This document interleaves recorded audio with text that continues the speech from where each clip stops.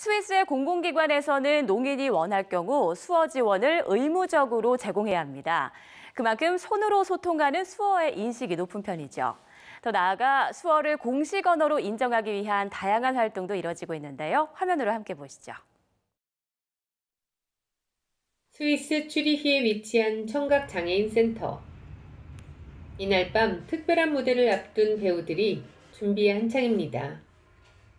주최 측과 감독, 배우까지 모두가 농인으로 이뤄진 연극 무대인데요. 아무래도 농인들은요, 말로 하는 일반 공연을 즐길 때 아주 많은 어려움에 부딪힙니다. 그래서 이곳에서만큼은 농인들이 아주 편하게 공연을 즐기고 또 느낄 수 있기를 바랍니다. 왜냐하면요, 바로 수어는 그들의 언어니까요. 관객들도 비장애인 몇 명을 제외하곤 대부분 농인이었습니다. 수어는 억압당했고 무시받았어요. 손짓이라고 놀림받았고 언어도 아니라고 했죠. 수어는 아름다운 거예요. 수어는 언어로서 농인들의 내면에 들어와 있어요. 청인들이 음성 언어를 배우는 것처럼요. 안무로만 진행된 첫 번째 무대.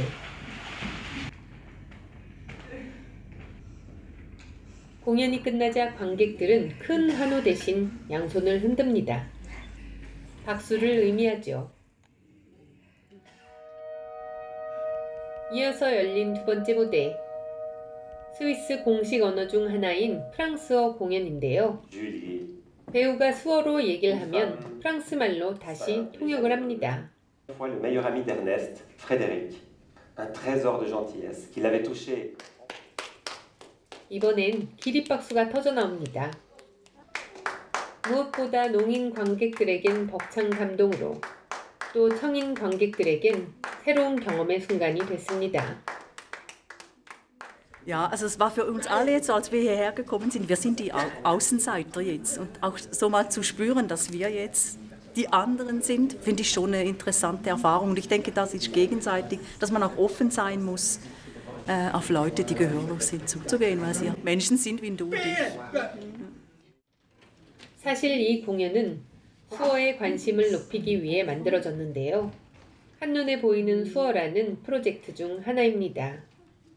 더 나아가 스위스 농인협회에서는 수어를 법적인 공식 언어로 인정받기 위한 노력도 병행하고 있는데요. 협회 회원들이 연방의회를 찾았습니다. 수어를 공식적으로 인정한 다른 유럽 국가에 비해 스위스는 수어를 아직 공식적인 언어로 인정하지 않고 있습니다. 저는 농인연맹과 함께 정치적인 권리 확보를 위한 활동을 시작하고 싶습니다. 일자리 등의 분야에서도 평등한 대우를 받고 싶습니다.